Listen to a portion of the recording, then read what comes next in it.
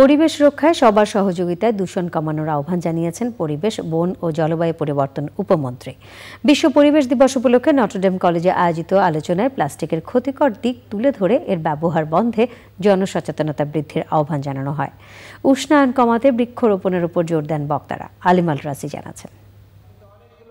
শিক্ষার্থীদের মধ্যে পরিবেশ রক্ষায় সচেতনতা গড়ে তুলতে উনিশশো চুরাশি সাল থেকে কাজ করে যাচ্ছে নটরডেম নেচার স্টাডি ক্লাব।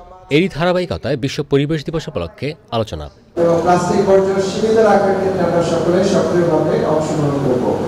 ধরিত্রীকে রক্ষায় সবাই একসাথে কাজ করার আহ্বান জানানো হয়। আমার যতটুকু করার সেটুকু আমি করি। আমার পরিবারকে আমি সম্পৃক্ত করি।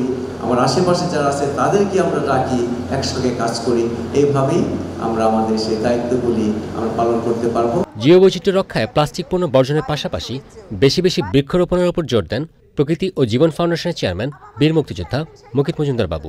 আমরা এই প্লাস্টিককে যদি এখনই বর্জন করতে না পারি, প্লাস্টিকের ব্যবহার কমাতে না পারি, তাহলে দু হাজার পঞ্চাশ সালের মধ্যে কিন্তু সমুদ্রে, নদীতে প্লাস্টিক ভাসবে, মাছ আর থাকবে না, অন্য কোনো প্রাণীও থাকবে না। সব কিছু মিলিয়ে প্লাস্টিক শুধু মানুষের ক্ষতি করছে না, প্রাণীদেরও ক্ষতি করছে। এবং এই প্লাস্টিককে রুখতে হলে প্লাস্টিকের ব্যবহার কমাতে হবে। পাশাপাশি গাছের কিন্তু একটা বিশাল অবদান আছে।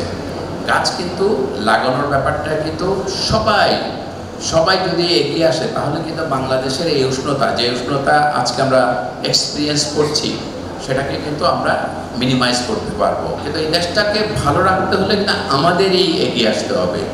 আমার আমরা কিন্তু একটা কথা সবসময় বলি যে সরকার সরকার সরকার, সব সরকার করে দিতে পারবে না কিন্তু।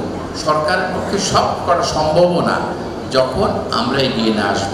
যারা তরুণ, যারা স্কুল, কলেজ, ইউনিভার্সিটিতে পড়ে, তারা যদি এগিয়ে না আসে, তাহলে কিন্তু কখনোই আমরা একটা এই যে কাজটি, পরিবেশ প্রকৃতিকে ভালো রাখার কাজটি কিন্তু এগিয়ে নিতে পারব না। পরিবেশ রক্ষায় সরকারের পাশাপাশি সবার সহযোগিতার আহ্বান জানান পরিবেশ, বন ও জলবায়ু পরিবর্তন উপমন্ত্রী। যতক্ষণ পর্যন্ত সাধারণ মানুষ আমাদের পাশে না থাকবে, এই মন্ত্রণালয়ের সুনাম জীবনেও হবে না। তাই আমরা চাই সবাই সুস্থ হয়ে বাঁচতে হলে এই একই পথ ধরে চলতে হবে এবং যেদিন পরিবেশ, বন ও জলবায়ু পরিবর্তন মন্ত্রণালয়ের সুনাম মানুষের মুখে থাকবে, বোঝা যাবে সকল কৃতিত্ব হলো এই দেশে সর্বসাধারণের। অনুষ্ঠানে পরিবেশ বিষয়ক বিভিন্ন প্রতিযোগিতায় বিজয়ীদের পুরস্কার দেওয়া হয়। আয়োজনের সহযোগী প্রকৃতি ও জীবন foundation. Media partner, channel I. আলিমাল রাজি চ্যানেল আই, ঢাকা।